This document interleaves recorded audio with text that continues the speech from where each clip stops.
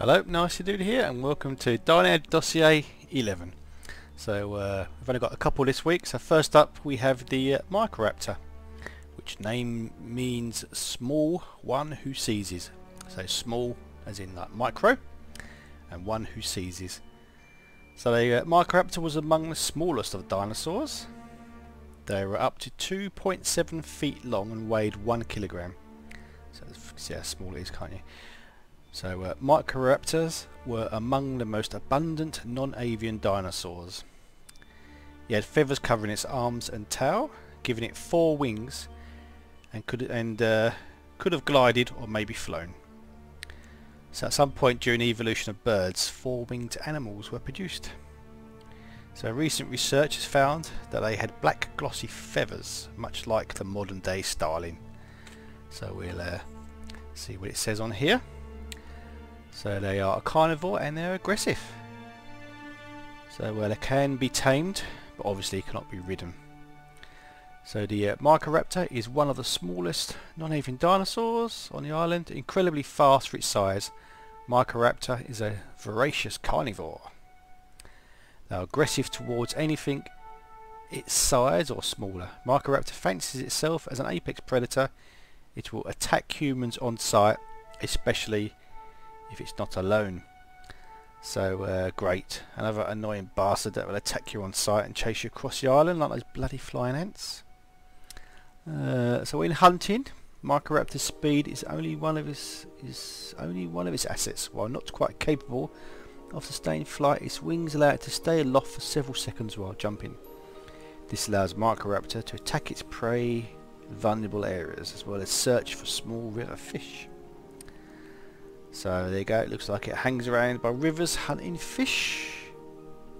They're domesticated, while not a powerhouse against armed enemies, Microraptor is particularly suited at bringing down enemy riders. Microraptor's natural tendency to attack weaker creatures means they ignore the mount while attacking the rider with leaps of fury. So uh, just like the Dimorphodon, another creature that attacks riders of dinos. So this will make for a good dino to tame for base protection. So they attack the ride of leaps of fury. That sounds like fun and could be something worth watching. So uh, next up we have the uh, Gallimimus, meaning chicken mimic or rooster mimic if you're American. So you might recognise these from Jurassic Park where there is a big uh, herd running away from a T-Rex and uh, Dr. Grant is amazed that they flock together and the boy says they're flocking this way. So that's them.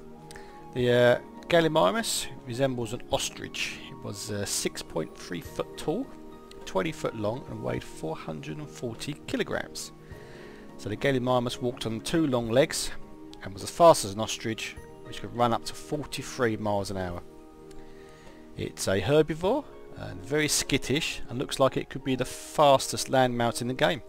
It's going to be a very fast mount that can leap obstacles really well.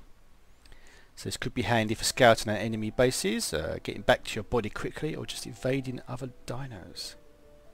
So let's uh, read what it says. So uh, in the wild, when someone asks me what the fastest creature on the islands are, Gallimimus is always a contender. Unlike the island's many armoured animals, Gallimimus strong defence for the ability to outrun pretty much anything. So it's a skittish herbivore. Gallimimus even looks nervous when eating in a peaceful, clear meadow. So it's a very nervous looking creature, looking around all the time like a chicken.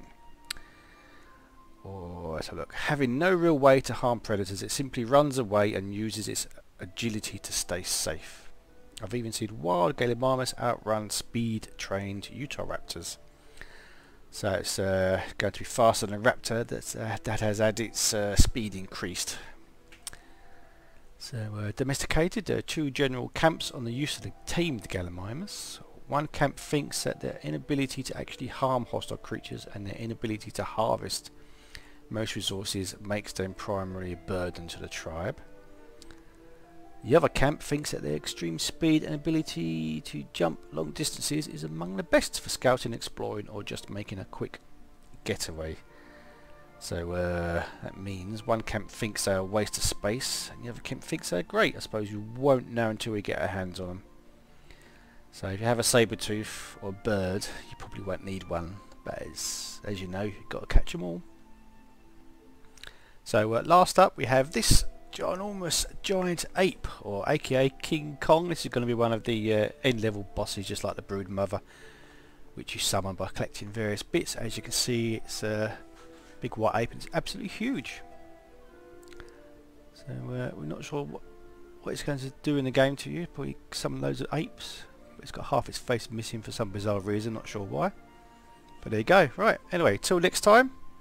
See you later. Cheerio.